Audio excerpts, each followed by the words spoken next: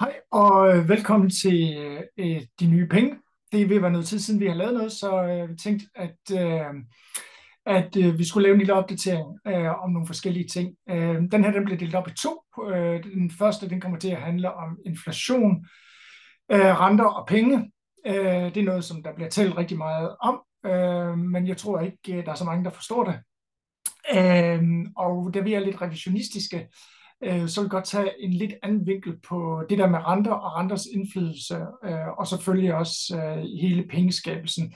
Så det vil sådan gå igennem øh, alene for sådan en øh, informationsordens skyld, så ved jeg, at der er nogle øh, studerende, som også følger med, øh, og der kan måske være nogle, øh, nogle nyttige ting i det. Den anden den kommer til at handle lidt mere specifikt om USA's øh, budget og øh, øh, hvad hedder det, finansielle øh, situation. Det har vi talt rigtig meget om og delt i mange af vores foredrag, men så tænkte jeg, nu vil gøre det øh, lynhurtigt også øh, på den her fasong, således at andre, der følger med, de også kan få et indblik i det. Øh, og med det så vil jeg springe øh, til øh, den præsentation, jeg har lavet. Øh, nu håber jeg, I kan se min skærm, øh, eller hvad hedder det, min præsentation. Så som sagt, øh, vi starter med sektion 2, sådan i ulogisk orden, og den kommer, som, øh, som jeg sagde til, at handle om inflation og andre penge. Øh, sådan lige for kort at opsummere, så øh, der er to måder, øh, man kan, hvad hedder det, øh, skabe penge på.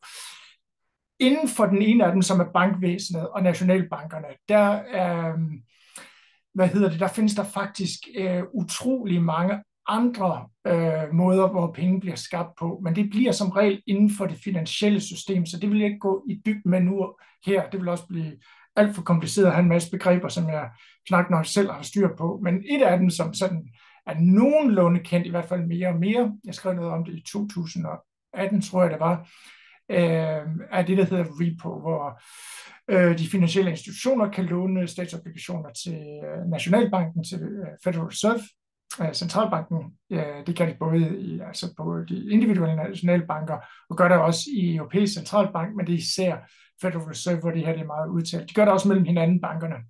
Så låner de uh, enten uh, mortgage-backed securities, som er en form for realkreditobligationer, uh, eller statsobligationer, ja, til hinanden eller til centralbanken og låner penge derigennem. Så det er sådan sikkerheden, der bliver stillet for det. Og dermed bliver der jo også skabt penge. Men de hører ligesom til inden for, hvad hedder det, det finansielle system. Så det, det skal vi ikke beskæftige os så meget med nu. Øh, I øvrigt, så er der en anden ting, der er pengeskabelse, som øh, der ikke bliver talt ret meget om, og det er jo selvfølgelig, når der bliver betalt renter. De bliver betalt ud af nye penge, så når centralbanken betaler renter for de indstående bankerne har, så er det en form for QE, og det er noget, jeg sådan fuldstændig har overset. Jeg har godt vidste, men fuldstændig overset, så det er jo en måde, øh, man øh, er med til at virkelig at, at pumpe bankerne op, i hvert fald dem, der har overskudskapital, det der hedder reserves.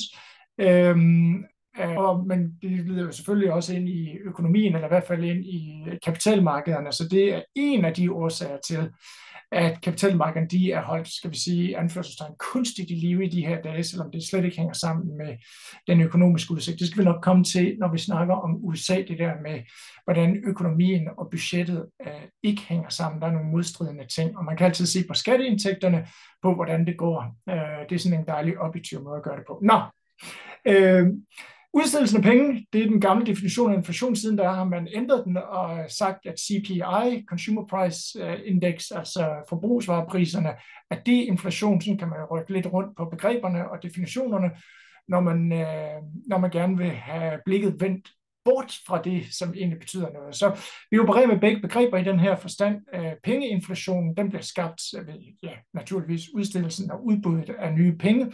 Når der er flere af dem, der søger færre varer og serviceydelser, så får vi øh, altså prisstigninger i de der valutapenge.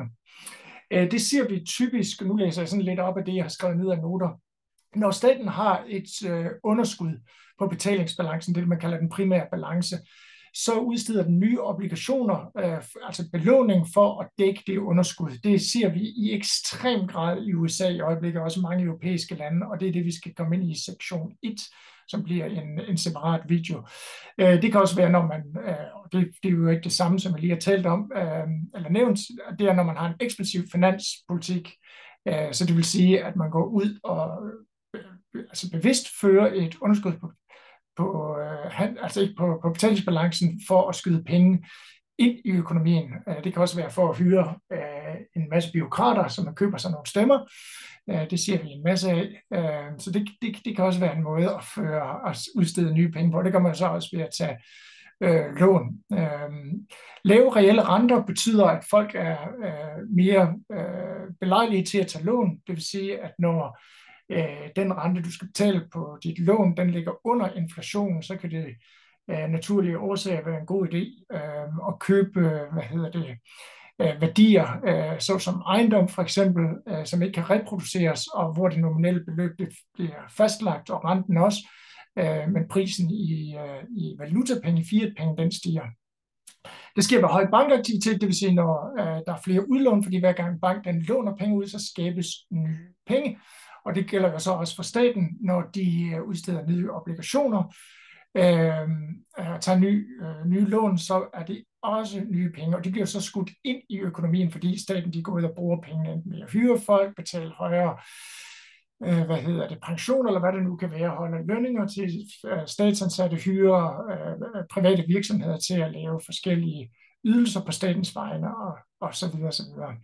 Øh, når der er høje kapital, eller positive øh, kapitalmarkeder, så er folk også mere lånløsende, Øh, de gør det blandt andet til at spekulere, øh, øh så det kan også være en måde, øh, som tilskynder øh, ny låneaktivitet.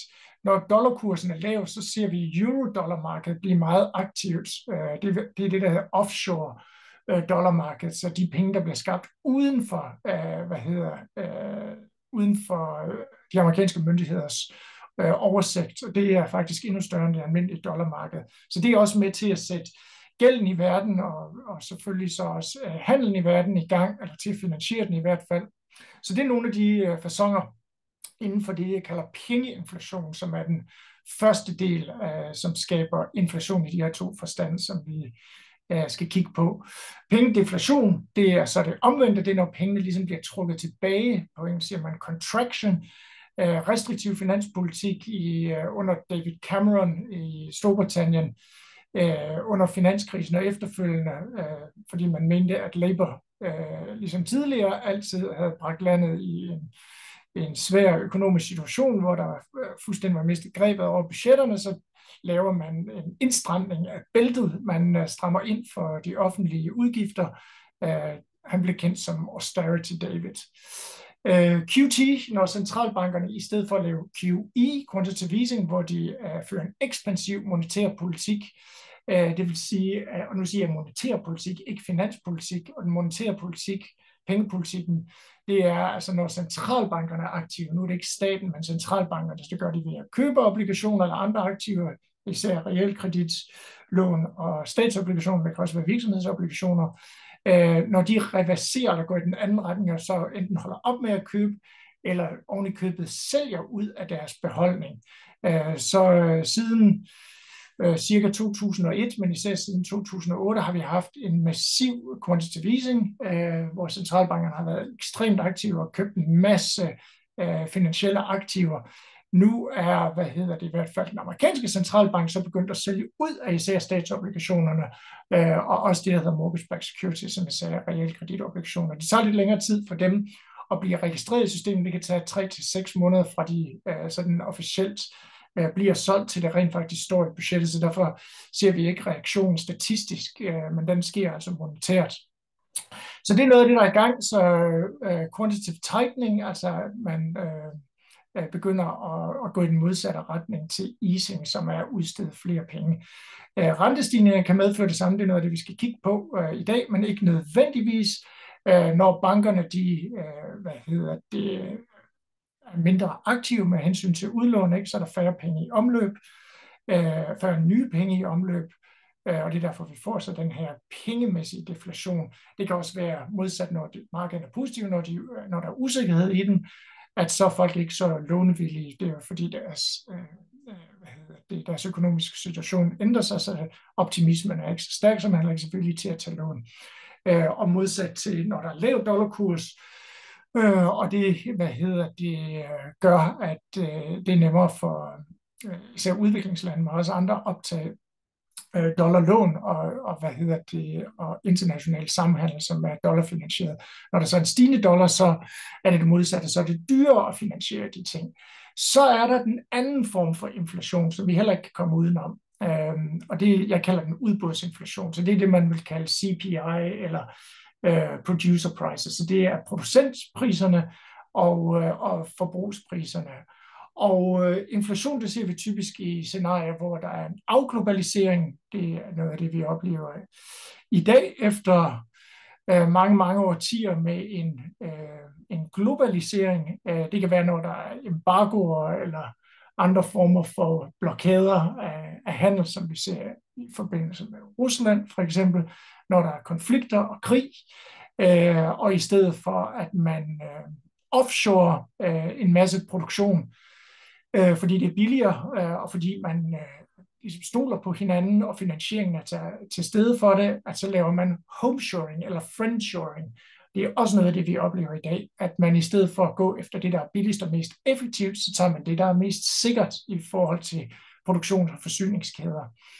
Øh, så kan der også være i tilfælde, hvor der er mangel øh, på eller adgang til øh, råstoffer som olie, gas og øh, metaller, som er de vigtigste bestanddele, eller, eller nogle af de andre, øh, hvad hedder det, øh, råstoffer, som indgår i, øh, i, øh, i forskellige teknologier eller produktion. Når der er, er mindre eller sværere adgang til dem, så har priserne med at stige på dem, og så bliver alt dyrere, fordi de indgår i stort set alt, hvad vi laver med hensyn til transport, infrastruktur og produktion. Lav produktivitet og, hvad hedder det, og en mangel på innovation kan også medføre, at øh, forsyningskæden, transporten og produktionen øh, bliver dyrere, som så omsættes til højere priser. Øh, regionalisering det er bare en anden form for øh, beskrivelse af afglobalisering, om man vil. Øh, deflationen, det vil sige, når priserne falder, det er jo så modsat, når der er stor sammenhandel, øh, typisk karakteriseret ved fred øh, og tiltro. Øh, når man går fra sikkerhed, altså det der homeshoring, til effektivitet, der, det har et begreb inden for hele konsulentverdenen, som hedder just in time, så det vil sige et Apple, øh, en Apple, hvad hedder det, telefon, øh, den består af, jeg tror det er 17 forskellige lande, der er øh, involveret i produktionen af sådan en telefon af forskellige bestanddele. Og alting det kommer lige tidsnok, øh, snarere end øh, det modsatte, som er resilience, som handler om, at øh, man har kontrol over tingene, og det er så tæt på, øh, hvad hedder det, den kontrol, som man vil have. Øh, altså det vil sige, at der er ingen tredjeparts, eller så få tredjeparts involveret som overhovedet muligt, og de tredjeparts, der er involveret, det er nogen, man har stor tillid til. Øh, selvfølgelig det modsatte med hensyn til råstofferne. Øh, når de, øh, når de er nemt tilgængelige og billigt, som de har været under hele globaliseringen, så, øh, så har priserne været billige. Øh, nu begynder verden at blive delt op på en lidt anden måde. Det er det, vi skal tale om i dag. Det har vi gjort flere gange før, kommer sikkert til det igen. Øh, når vi har høj produktivitet og, og høj øh, udvikling inden for teknologi, så har priserne også med at falde det var sådan lige for at gå dem igennem. Så øh, dem, der er studerende, det kan de jo så tage note af, og så kan de måske bruge det til at skrive nogle øh, eksamenspapirer. Øh, men vi går videre. Lige en kort indskydelse, før vi fortsætter. Øh, høje renter, de bliver altid set, og som, som jeg sagde indledningsvis, så har vi det med at være sådan lidt revisionistisk, så godt lide at kigge på tingene på en lidt anden måde, end øh, man for eksempel gør i de gængse medier, når øh, folk de bare øh, taler i tv øh, med de der snakkehoveder omkring, hvad, øh, hvad det betyder, det der sker, og hvordan man kan gribe ind over for øh, for eksempel en økonomisk nedgang, eller hvis man skal prøve at have en ekspansion, eller hvis man skal styre inflationen. Ikke? Så siger man, så hæver vi renterne, og det mener jeg øh, ikke øh, nødvendigvis øh, er tilfældet. Og det er sikkert meget, det er meget kontroversielt at sige det, og det vil jeg så prøve at bevise med noget af det, jeg vil sige efterfølgende. Det er ikke altid tilfældet, fordi der er intet, øh, som man øh, skal analysere i verden af noget som helst, hvor man bare kan kigge på en eller to faktorer. Det skal ses i et mere sådan komplet system, og det er noget af det, vi kigger på. Øh, men en høj rente kan altså være inflationær, Øh, staten kan rent faktisk tjene penge på en høj rente. Så normalt der kigger vi altid på problemet med, at øh, renterne på gælden, at de bliver dyrere for staten, og, og det, dermed stiger deres udgifter, og det er et problem øh, for evnen til at refinansiere sig selv, og det er også fuldstændig rigtigt. Men der er også nogle tilfælde, hvor en højere rente faktisk tilgodeser staten. Øh, jeg nævnte øh, tre som eksempelvis her, så for eksempel øh, lande eller økonomier, hvor der er skal vi sige, meget stor middelklasse eller øh, mange meget velhævende personer, for eksempel USA, som har store personlige indstående, og, det gælder jo også øh, øh, virksomheder, altså, som har tjent rigtig mange penge, som måske en afledning af den her globalisering, der har været, og effektivitet, at de indstående, dem betaler de rente af, og de renteindtægter betaler de skat af og de går jo så til staten. Så høje renter kan godt være indtægtsgivende for staten, selvom de skal betale højere renter på deres øh, nyudstedte obligationer. Øh, så øh, er det, at øh, der skal jo selvfølgelig udstedes ny gæld for at betale øh, højere og de her højere renter. Øh, og især når man har budgetunderskud, det er noget, vi skal kigge på i USA's tilfælde, hvordan det hænger rigtig dårligt sammen. Øh, men hvis øh, centralbanken går ind og køber dem, Øh, så kan de være med til at holde øh, renten nede på et vist niveau, som gør, at indtægterne faktisk overstiger eller er lige med, med udgifterne. Øh, og så er der selvfølgelig obligationsinvestorer, som nyder højere renter. Og igen, opsparer og folk med, med hvad hedder det, kontante midler, det har de jo så mulighed for, og det er jo så gældende i USA, hvor både indlånsrenten er høj, over 5 procent, og, øh, og, og obligationsrenten er fuldt med den kupon, der bliver betalt på statsobligationerne. Så det kan de nyde godt af. Godt, så vi skal se på forholdet mellem øh, fiat-penge og, øh, øh og hvordan det skaber inflation. To grafer, og det er jo øh, den kategori 2, jeg talte om før heroppe. Øh, den kan man også kalde input costs. Så det er de øh, omkostninger, der går ind i en ny produktion, øh, som tit udmyndter sig enten, at hvis man holder priserne øh, fastlåst, at så laver øh, mindre profitabel for virksomheden, eller også hæver de prisen lige med deres nye input cost, som er steget, og så stiger øh, salgspriserne.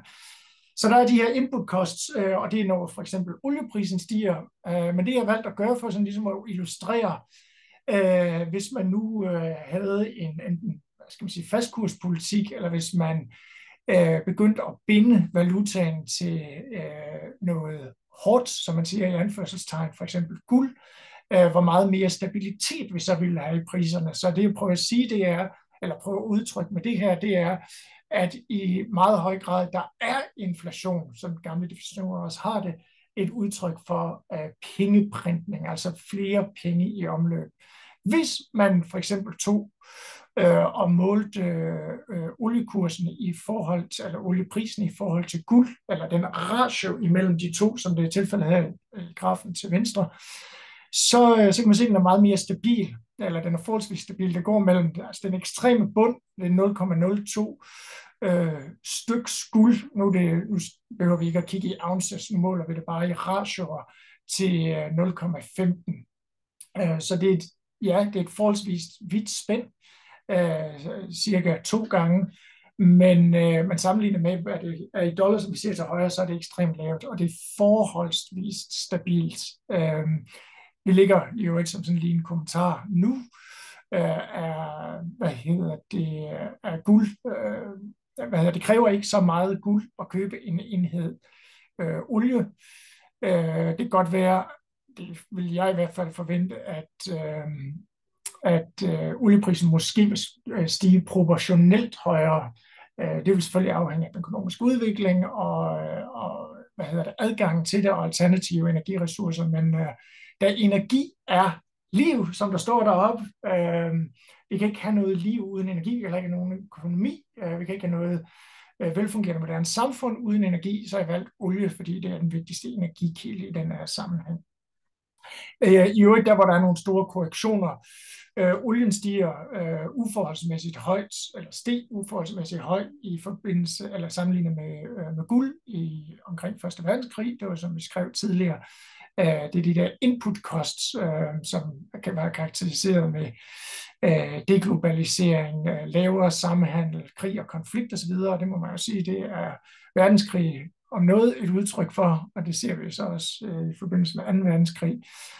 Øhm, og, øh, og så guld øh, steg så øh, proportionelt meget mere efterfølgende. Vi ser det omkring øh, krisen i 20'erne og 30'erne, øh, og så igen omkring 70'erne, da Nixon han øh, fjerner dollaren fra øh, guldstandarden, øh, og så senest, øh, det er den anden cirkel på den venstre øh, graf, røde cirkel, er for eksempel i 2020, i, var det i marts-april, hvor olieprisen, eller var det maj, hvor olieprisen rent faktisk går i negativt øh, på grund af nedlukningerne, og der ikke rigtig sker noget i verdenshandelens sammenhæng. Øh, men guld, som er en sikker havn, selvfølgelig øh, stiger. Hvis man så modsat øh, prissætter øh, olie i dollar, så ser det helt anderledes ud. Og der sker noget, som jeg har prøvet at highlight med den mindre røde cirkel, der sker et eller andet om, i begyndelsen af 70'erne. Der findes en rigtig god øh, øh, rapport ude på nettet, som hedder What the Happened in 1971, som man kan finde, eller så kan I skrive til os, så kan vi dele den med jer.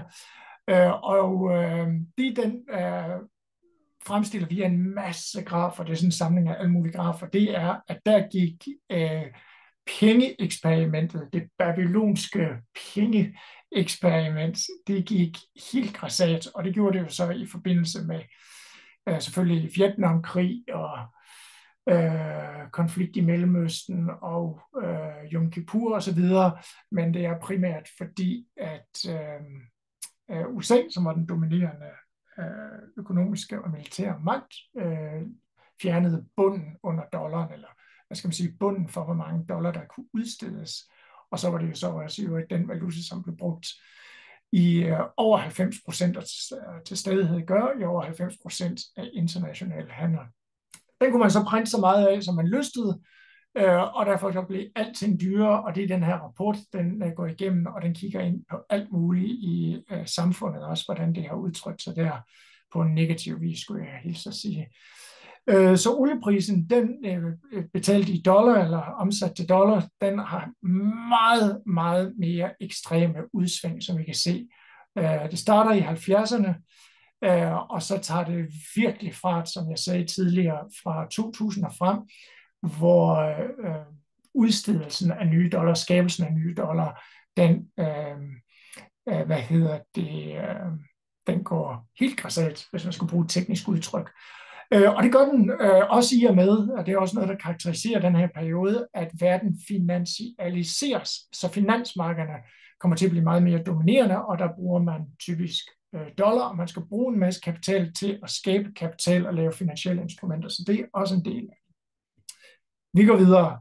Kort øh, for at illustrere det her øh, med øh, udvandringen og devalueringen af penge, øh, hvordan det udtrykker sig. Øh, der her er en graf, der meget enkelt og klart viser, øh, hvad en dollar øh, var værd i købekraft øh, fra 1972, altså året efter Nixon han fjerner øh, bindingen til guld, øh, og så frem til ja, mere eller mindre i dag.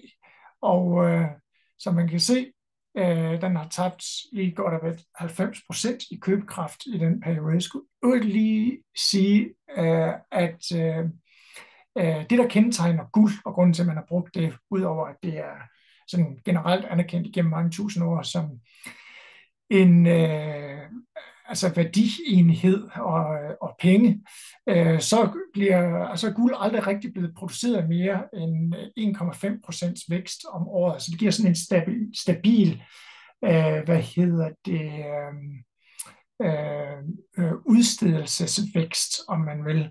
Øh, hvorimod øh, dollaren, den er øh, øh vokset med 7 procent om året, så det naturligt, når man så laver renters rente på det, compounder det, så, øh, så bliver det ekstremt mange flere øh, dollar, end der er guld, og det er jo så den der devaluering og defla- eller inflation, som vi øh, kigger på.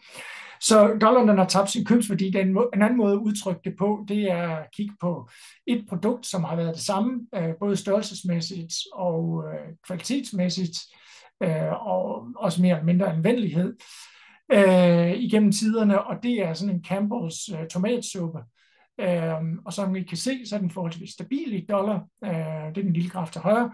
Og så igen i begyndelsen af 70'erne, så begynder det pludselig at gå stærkt. Devalueringen af dollaren, det vil sige, øh, at den bliver printet i øh, anførselstegn. Det er et rigtig dårligt udtryk, for der penge de bliver ikke rigtig printet mere, men ikke desto mindre, der bliver udstedt mange flere dollar, og mange flere nye dollar i omløb, øh, som så gør, at øh, de ting, som jeg har behov for at købe og leve af, at de bliver dyrere. Så det gælder om at kunne få fat i nogle af de der dollar, og kan man ikke det, så har man jo et problem.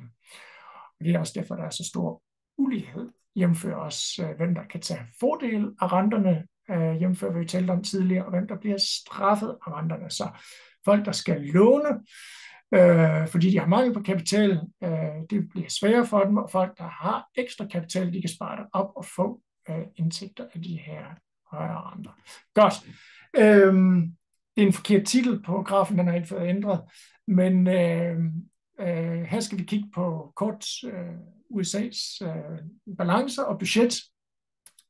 Og øh, fuldstændig, øh, som vi også selv siger flere gange, så er udgifterne øh, øh, forhold til øh, Øh, renten, de skal betale på, øh, på deres øh, obligationer, på statsobligationen, den er selvfølgelig steget, og den er steget markant her de sidste halvandet års tid, efter rentestigningen virkelig har taget fart.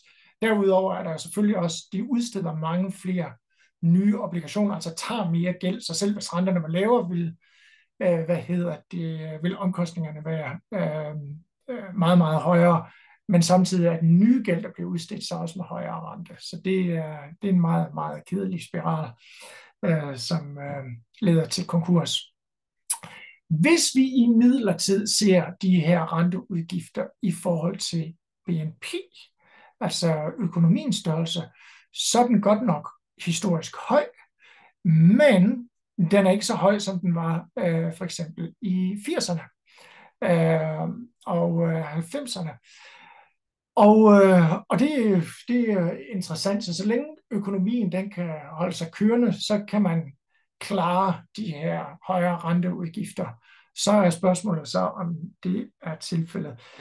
Og så er det jeg godt vil kigge lidt mere på en nuancering af tingene, fordi den inflation, man havde i 70'erne, den var drevet af noget andet, end den er i dag. Det var også derfor, jeg gjorde et stort nummer ud af i begyndelsen at forklare, hvordan øh, inflation af penge kan ske, og også inflation af forbrugspriser. Så det, der var karakteriserende for 70'erne især, det er, at du havde de her babyboomers og en masse nye, unge, øh, uddannede mennesker, der skal ind på arbejdsmarkedet, så de skal jo købe øh, hvidevarer, de skal have nyt køleskab, de skal have bil, de skal have hus, øh, og øh, belåningen var forholdsvis lav, så bankerne var meget aktive, og i øvrigt så var øh, staten også lavt belånt på det tidspunkt. Øh, så den inflation, den var øh, hovedsageligt drevet af, af meget stærk øh, bankaktivitet øh, øh, til at imødekomme den her demografiske udvikling. Øh, den inflation, og så kom der så en inflation også på grund af oliekrisen igen. Øh, energi er liv, øh, og vi har brug, hvis vi skal leve, så skal vi bruge energi, og vi ved jo alle sammen, at der var en oliekrise, så det øh, øh, havde selvfølgelig spillet også en, en, en rolle i, øh, i, hvad hedder det, i de her højere forbrugspriser.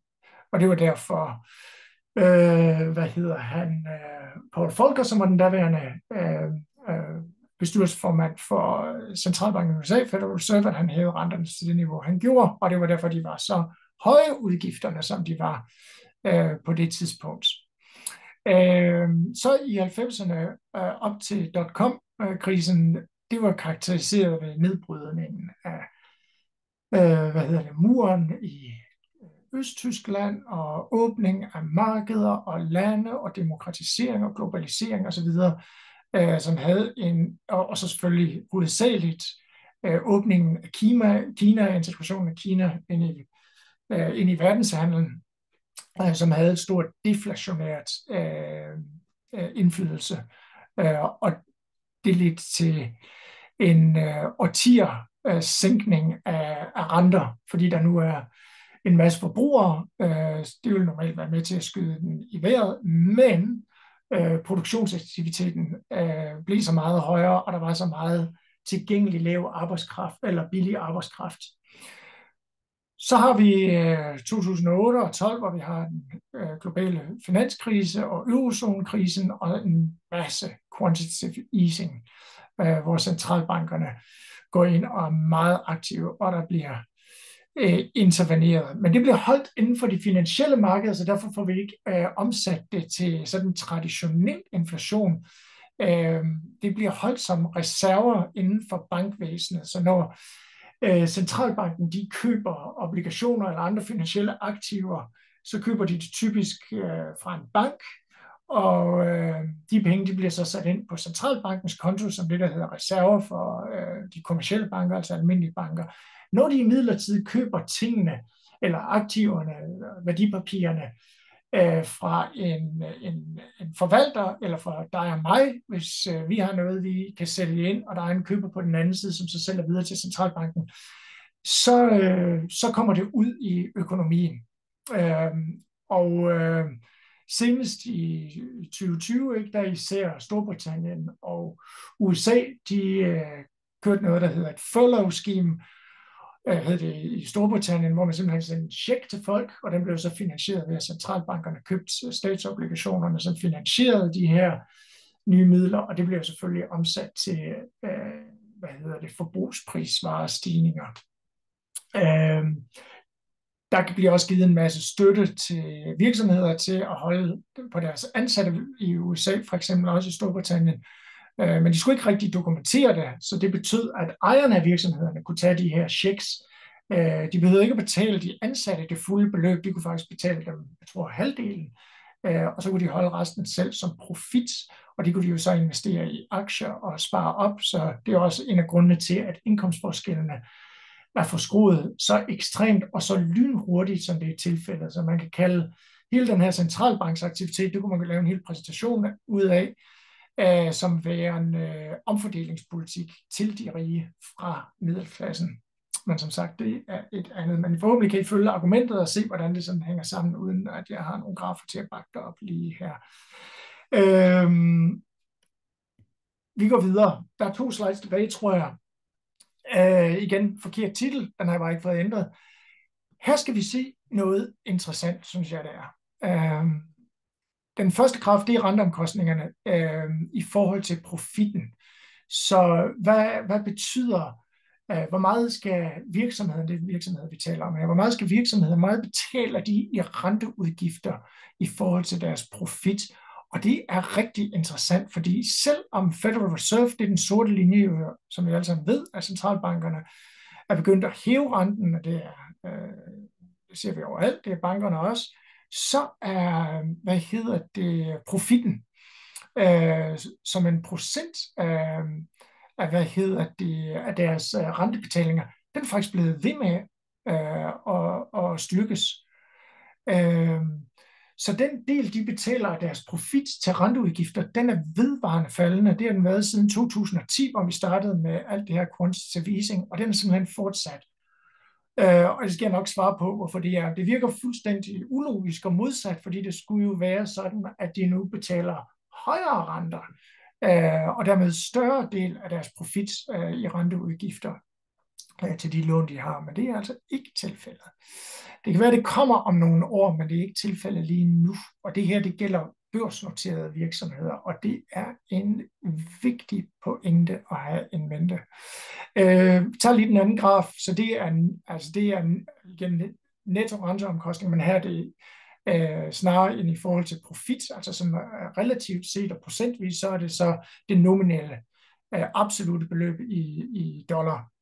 Øh, og der kan vi se igen, det er faldende, selvom renten er stigende. Det er den blå linje, der er rente, rentekurven, øh, som jeg altså ved, ikke, så begyndte den at stige for cirka halvandet år siden, vi begynder at hæve renten, men alligevel er, øh, er øh, hvad hedder det, øh, den, altså de, den andel af dollarbeløb, som før var det i forhold til procentbeløb, procentfordeling i forhold til profitten, nu det, det nominelle dollarbeløb selv, det er forblevet stabilt og faktisk faldet, siden renterne er hævet. Øh, Hvorfor er det? Jamen, jeg har givet jer øh, hvad hedder det, svarene med de små bullet points. Det var simpelthen fordi, at øh, de virksomheder, der havde mulighed for det, øh, og som var begavet nok, de låste deres renter i øh, 2020, 2021, da renten var ekstrem og historisk lav. Hvad gjorde de da? Der udstedte de en masse gæld øh, for at tage øh, fordel, drage fordel af de her lave renter. De var sandsynligvis enten konspiratorisk bevidste om, at det ville ændre sig, måske havde de fået et præg om det, eller så øh, øh, eller også så var de simpelthen forudseende, og så tænkte, det her, det skal vi øh, drage nytte af, især i de her øh, usikre tider, som det jo var dengang, hvor man ikke anede, øh, hvad der skulle ske, om Klaus Schwab han skulle være verdensleder, eller hele verden ville bryde sammen, eller om vi ville gå tilbage til det gamle normale, eller om vi skulle hen til det her nye normale. Spændende. Nå, men de låste i hvert fald renterne fast, øh, så de har jo taget et eller andet sted mellem 2 til 10 års lån til meget, meget lave renter. Øh, de fleste er nok 3 til 5 år. Øh, så i en årsperiode har i hvert fald de øh, øh børsnoterede virksomheder med høj likviditet og øh, med øh, stærk adgang til kapitalmarkederne, de, øh, de står i en meget favorabel position. Og så er de jo så heller ikke behøvet sidenhen øh, og, øh, og skulle ud og låne. Øh, så det betyder, at der er færre ny gæld, eller mindre ny gæld, de skal betale de her øh, de skal betale renter på, og, øh, og renterne er, er stadigvæk lave, og så har man jo så nogle afdrags øh, fordele også øh, med den rente, man betaler for det. Øh, så er der selvfølgelig også det faktum, at øh, de er blevet øh, dygtigere til at tjene penge, og det er de jo blandt andet, fordi de kan låne meget billigt. Øh, øh, men der er også andre årsager, hele globaliseringen, og så er der jo så nogle af dem, der har været så heldigt stillet, at med nedlukningerne, så fik de jo monopoler, så betyder det også, at de har tjene en masse penge der, og så har de fået en masse statsstøtte, nogle af dem også. Øh, mange af dem, de øh, genererer rigtig meget kontanter, altså de har et meget højt free cash flow, øh, og den kan de jo så placere i bankerne, hvor de nu nyder højere renter. Øh, det håber jeg giver mening. Til slut. Øh, igen, forkert titel. Jeg glemte at ændre den. Øh, det er fra en gammel præsentation. Øh, så øh, lidt det samme. Øh, hvad hedder det? Øh, det er den årlige ændring af, af hvad hedder det, øh, af renteudgifter. Det er den røde linje. Og, øh, og så den anden, det er så, øh, hvad hedder det, altså det, det er bare et udtryk for øh, Federals, altså centralbanksrenten. Og igen, nu her kan man se, tydeligere, hvordan de har fulgt det ad, øh, sådan mere eller mindre øh, proportionelt øh, igennem tiden, indtil nu, hvor det er fuldstændig øh, stukket af i modsat retning. Øh, så øh, år til år basis, der er renteudgifterne faktisk faldet øh, fra 2020. Så 2020 det har været rigtig godt for de, hvad skal man sige, de store globale virksomheder. Øhm, og derudover så, sti, øh, så, har de, så nyder de så stigende renteindtægter på øh, alle de øh, overskud, øh, de har lavet igennem årene, som nu står og trækker højere renter. Og der bliver investeret øh, meget lidt på grund af usikkerheden omkring fremtiden, så øh, de, står, øh, de står bare og, og tjener og nyder højere renter nu. I absolute tal øh, det samme, det er bare udtrykt på en anden måde øh, med grafen der nederst. Øh, så det er i forhold til profit, og så er de absolute tal, men det er, det er det samme princip. Så det håber jeg var interessant. Øh, som en lille teaser, så skal vi kigge på øh, det her som det næste, men jeg slukker nu, øh, så det ikke bliver for langt, og øh, så laver vi den anden optagelse bagefter. Håber, øh, håber, I synes, det var interessant. Glæder mig til gensyn.